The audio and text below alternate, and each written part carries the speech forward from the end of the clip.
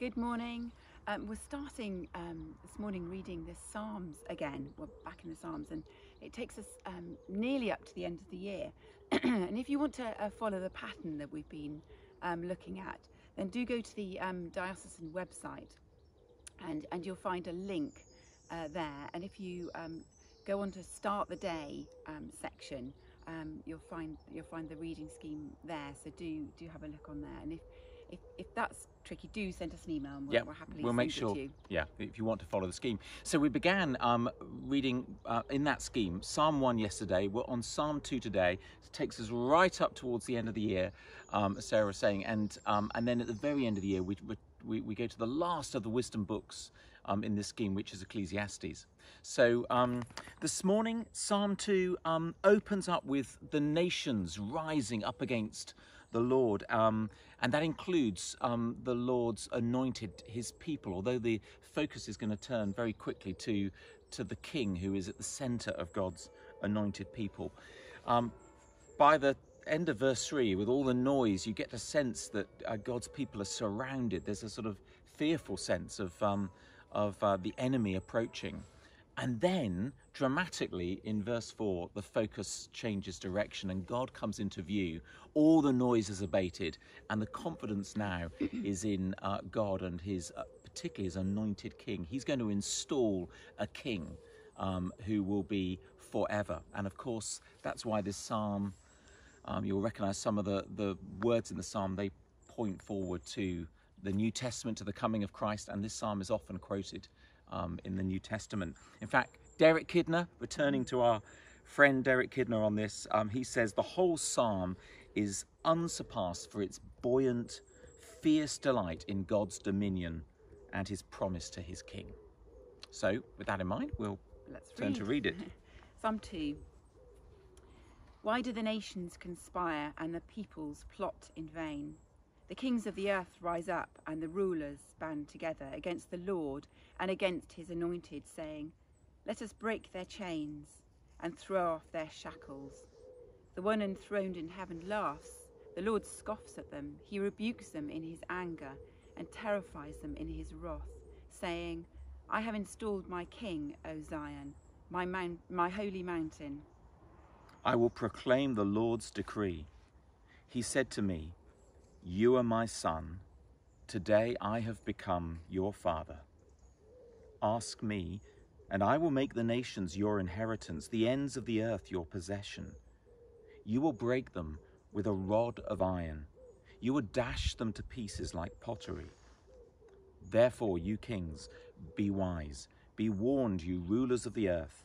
Serve the Lord with fear and celebrate his rule with trembling. Kiss his son, or he will be angry, and your way will lead to your destruction. For his wrath can flare up in a moment. Blessed are all who take refuge in him. Mm, that's wonderful. The sun is. I know the, the sun, sun, is, coming round really fast. sun is rising. It's early. Yeah. Um, I was I, it, having read that, um, um, and I was particularly drawn to verse seven, mm. um, which says, "I will proclaim the Lord's decree." He said to me, "You are my son. Today I have become your father." And this, this echoes um, what is spoken by God the Father to Jesus at his baptism and transfiguration.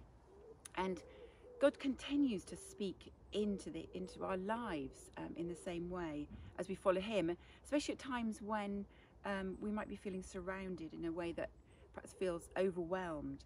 Um, and the affirmation um, can come in in so many different ways. It can be a friend um, saying something just just the right words um, or, or, a scripture, um, a verse that, that we read or somebody has for us.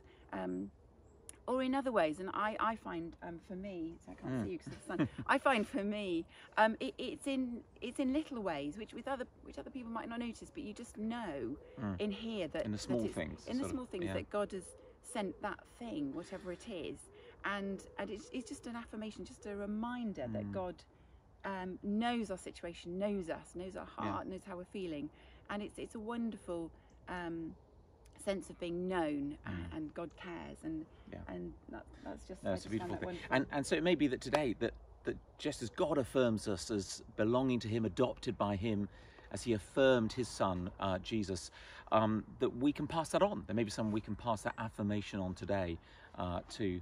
And um, uh, today, um, it is Friday, um, and it's already been dubbed um, Mask Up Friday because uh, in our response to the coronavirus, today is the day when we uh, need to remember to wear our masks if we go into shops or other indoor uh, public uh, spaces. So I have my mask at the ready. I will be out and about a bit today, so I'll be ready to be masked up. Don't forget that.